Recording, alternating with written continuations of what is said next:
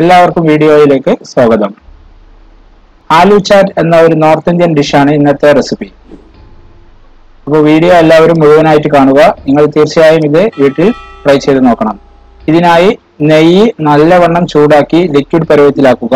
അതിലേക്ക് ക്യൂബുകളായി കട്ട് ചെയ്തിട്ടുള്ള പൊട്ടാറ്റോ പീസ് ഇട്ടുകൊണ്ട് മുരിച്ചെടുക്കുക. ഇതൊരു ബ്രൗണിഷ് കളറായി വരുമ്പോൾ നമ്മുടെ ഫ്രഞ്ച് ഫ്രൈസ് രൂപത്തിലായി വരുമ്പോൾ ഇതിനെ അതിൽ നിന്നും കോരിയെടുത്ത് ഒരു ബൗളിലേക്ക് മാറ്റേണ്ടതാണ്.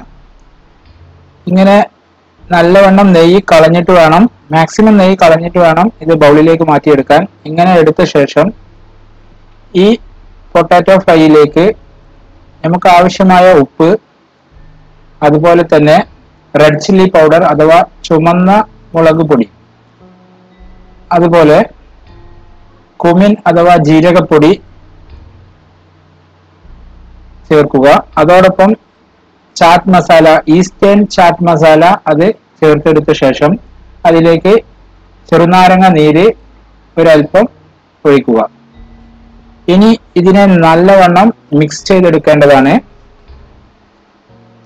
ആ ഒരു കൂട്ട് നല്ലവണ്ണം മിക്സ് ചെയ്ത ശേഷം അതിനെ ഒരു പാനിലേക്ക് മാറ്റുക.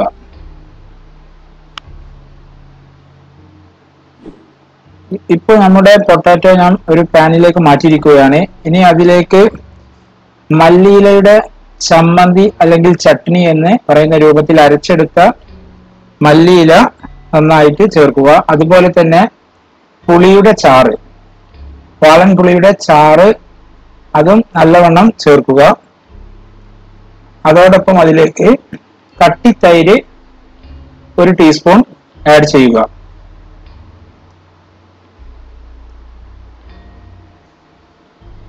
ഇനി അതിലേക്ക് ഒരല്പം നൈലോൺ സേവ് അഥവാ കടലപ്പൊടി കൊണ്ടുണ്ടാക്കിയ ഒരു മിക്സ്ചർ ഇട്ട് കൊടുക്കുക.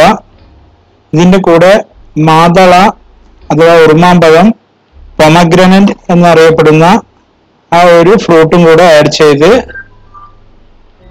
ഈ കൂട്ടിന്റെ മുകൾ വശത്തായിട്ട് ഒരല്പം മല്ലിയിലയും ഇട്ട് നന്നായിട്ട് മിക്സ് ചെയ്ത് കഴിക്കുക. ഇതാണ് നമ്മുടെ ആലു ചാറ്റ് എന്ന ഫുഡിന്റെ ഇൻഗ്രീഡിയൻസ് ഈ കാണിച്ചിരിക്കുന്നതാണ്. അതോടൊപ്പം തന്നെ ഈ ആലു ചാറ്റ് എന്ന ഈ ഒരു റെസിപ്പി എങ്ങനെ ഉണ്ടാക്കാം എന്ന മെത്തേഡാണ് ഇവിടെ കാണിച്ചിരിക്കുന്നത്. വീഡിയോ നിങ്ങൾ നിങ്ങളുടെ കൂട്ടുകാരിലേക്കും ഷെയർ ചെയ്യുക. നിങ്ങളുടെ അഭിപ്രായങ്ങളും നിർദ്ദേശങ്ങളും നിങ്ങൾ കമന്റ് ബോക്സിൽ രേഖപ്പെടുത്തുക. അതുപോലെ തന്നെ നിങ്ങൾ ഈ ചാനൽ ഇതുവരെ സബ്സ്ക്രൈബ് ചെയ്തിട്ടില്ല എങ്കിൽ തീർച്ചയായും ഈ ചാനൽ സബ്സ്ക്രൈബ് ചെയ്ത് അതിന്റെ അടുത്ത് കാണുന്ന ബെല്ലൈക്കൺ കൂടെ ഒന്ന് പ്രസ് ചെയ്ത് നോട്ടിഫിക്കേഷൻ എനാബിൾ ചെയ്ത് വെക്കുക.